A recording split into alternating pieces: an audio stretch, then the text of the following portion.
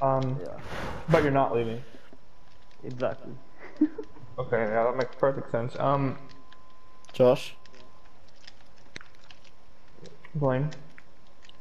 um, how was work today? It was good, thanks.